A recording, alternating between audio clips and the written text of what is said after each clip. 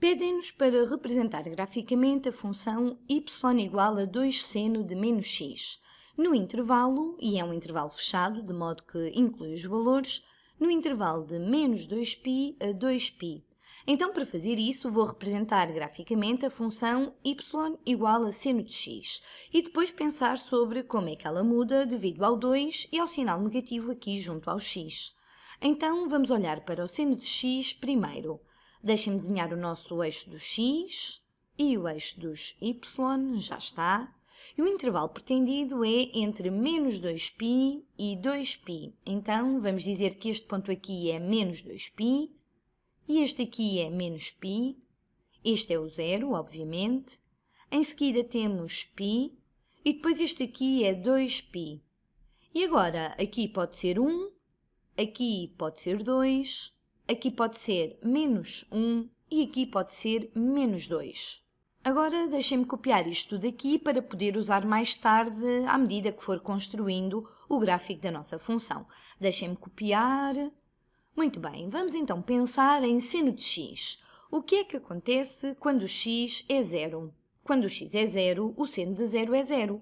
Vou desenhar aqui um círculo trigonométrico como referência para nos ajudar a descobrir os valores destas funções trigonométricas. Então, aqui temos o eixo do x, e aqui o dos y.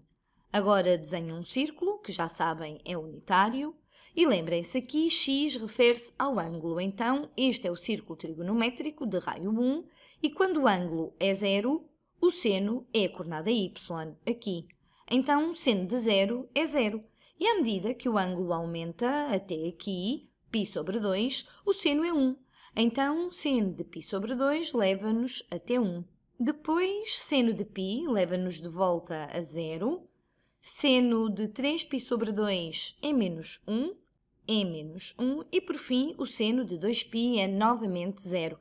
Então, a representação gráfica fica algo parecida com isto. Então, esta parte está entre 0 e 2π e é algo parecido com isto, mas também queremos representar a função na parte negativa do eixo do x, então, quando vamos no sentido negativo, à medida que avançamos no sentido negativo, o seno de menos π sobre 2 é menos 1. Em menos π sobre 2, o seno é menos 1. Em menos π, o seno volta a zero.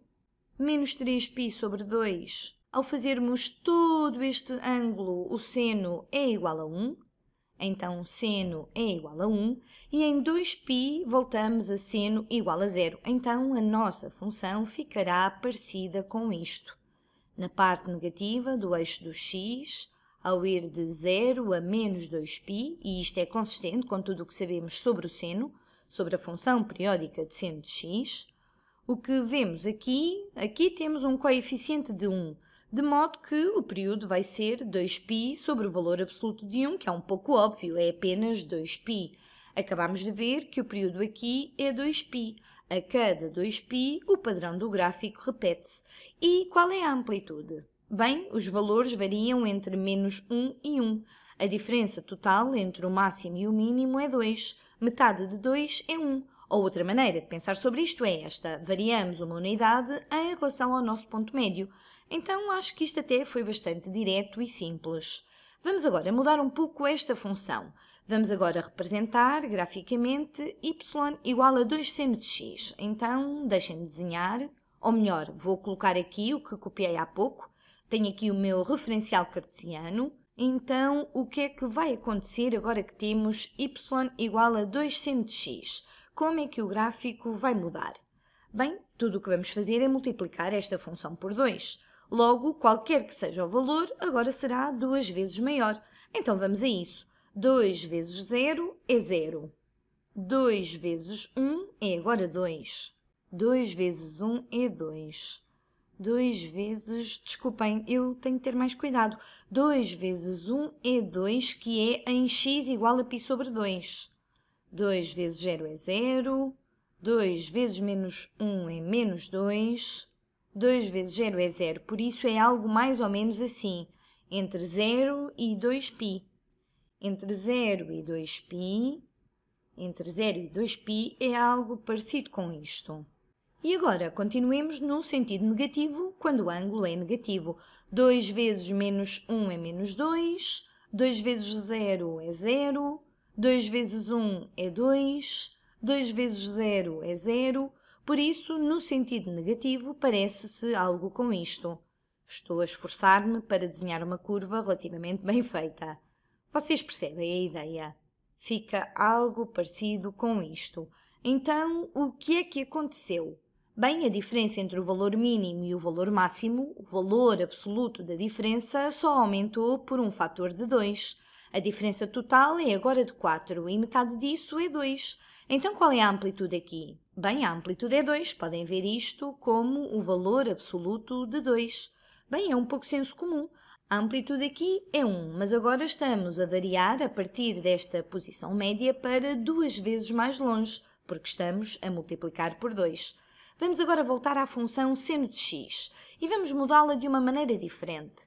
Vamos representar graficamente seno de menos x.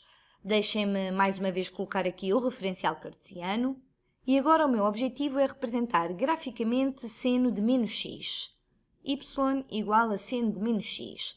Para que, bem, pelo menos aqui já nos livramos do 2. Então, vamos diretos de seno de x para seno de menos x, Vamos pensar que alterações é que sofrem estes valores. Assim, quando x é zero, ainda vai ser seno de zero, que é zero. Mas à medida que x aumenta, o que é que acontece quando x é π sobre 2? O ângulo que estamos a introduzir no seno agora vai multiplicar por menos 1, por causa deste sinal negativo. Por isso, quando x é π sobre 2, o que estamos realmente a fazer é menos π sobre 2. E quanto é o seno de menos π sobre 2? Podemos ver aqui que é menos 1. Menos 1.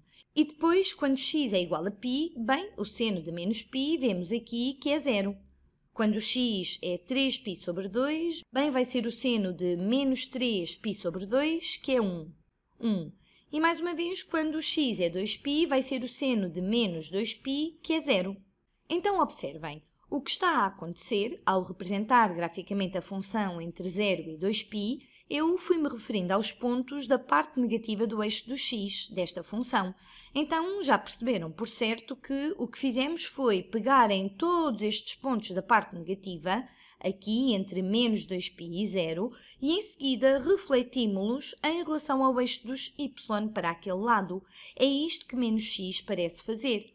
Ou seja, exatamente por esta mesma lógica, quando temos valores de x da parte negativa do eixo, por exemplo, quando x é igual a menos π sobre 2, como temos aqui este sinal de menos, na verdade vai ser seno de π sobre 2, por isso vai ser igual a 1. E o que fazemos agora é refletir isto em relação ao eixo dos y. Então, basicamente, o que fizemos foi refletir o gráfico de seno de x em relação ao eixo dos y. Temos aqui o eixo dos y, obviamente, portanto, refletimos o gráfico de seno de x em relação ao eixo dos y. Este é o eixo dos y e eu espero que estejam a visualizar a reflexão. Isto é o que menos x fez à função seno de x. Então agora vamos pensar na combinação de ter um coeficiente 2 aqui e menos x ali. Então deixem-me colar novamente o referencial. Agora sim, vamos tentar fazer o que nos foi pedido. Vou fazer numa nova cor, vou fazê-lo a azul. Aqui é o eixo dos y e aqui também. Agora vamos representar graficamente y igual a 2 seno de menos x. E com base em tudo o que fizemos, como é que isso vai ficar? Quais são as transformações que vão ocorrer? Se formos da função y igual a seno de x para y igual a 2 seno de menos x, bem, há duas maneiras de pensar sobre isto. Ou pegamos na representação de y igual a 2 seno de x, então aqui multiplicamos por 2 e obtivemos o dobro da amplitude. E agora vocês podem dizer que basta refletir em relação ao eixo dos y para que a parte de menos x da função tenha efeito. E por isso, então, deixem-me clarificar que o que eu estou a fazer é refletir. Se eu pegar nos vários pontos da função entre menos 2π e 0 e os refletir, o que está aqui, após refletir em relação ao eixo dos y, agora passa a estar aqui. Então temos esta primeira parte negativa, depois voltamos a zero, e em seguida os valores da função ficam positivos, ficando assim.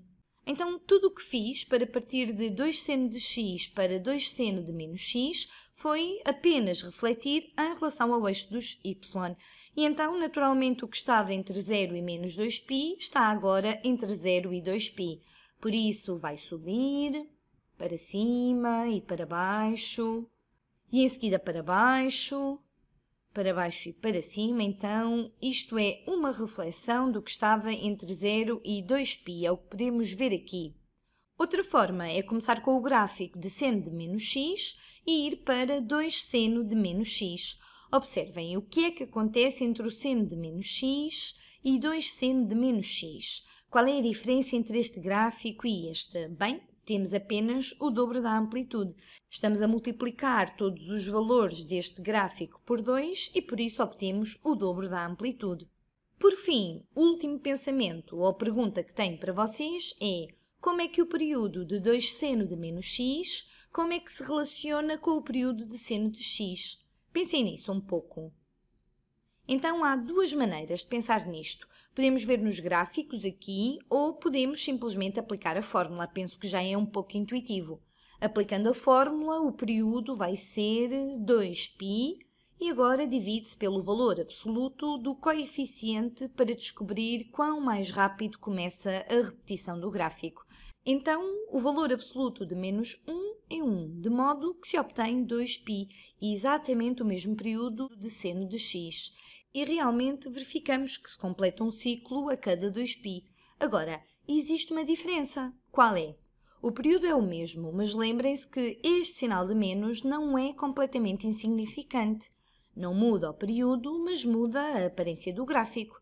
À medida que se aumenta x, em vez da função ser positiva, como seria no caso de uma função seno tradicional, por assim dizer, aqui, à medida que x aumenta, ao termos o seno de menos x, temos o seno de um ângulo negativo, e é por isso que a função começa por ter valores negativos de seno, o que nos dá uma outra perspectiva. Então, já vimos que é apenas uma reflexão em relação ao eixo dos y da função seno de x, estes dois gráficos são a reflexão um do outro e estes dois também são. Este é duas vezes a amplitude deste e este é duas vezes a amplitude deste.